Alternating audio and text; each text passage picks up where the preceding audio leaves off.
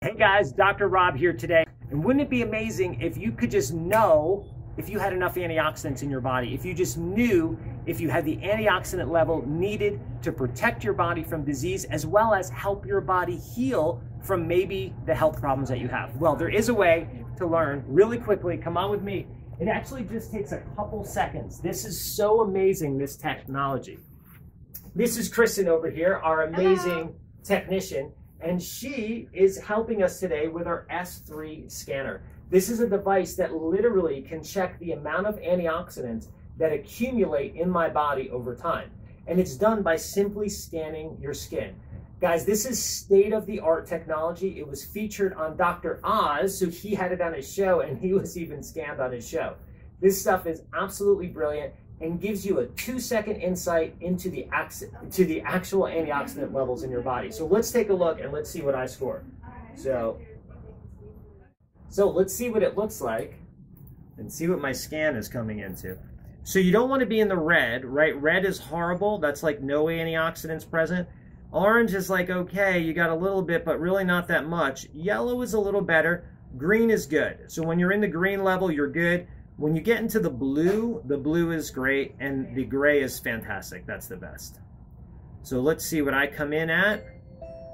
And it looks like I'm blue. What am I at there? 53,000. So that's pretty good. So what that let me know right there is the supplements I'm taking and the way I'm eating is correct for my body. It's stuff that's in the plants, that's what actually helps to heal our body. And this tells you if you have enough of that stuff.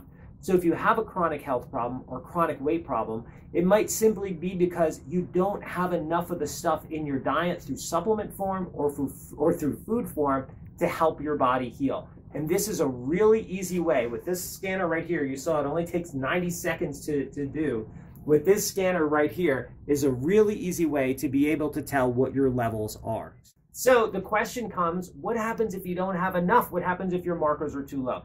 Well, that could be from a couple different reasons. One, you don't have the right diet. Two, you're not on the right supplements. And three, you could actually have a problem with your gut present where you're not able to absorb enough of the antioxidants from your food, so you're testing low.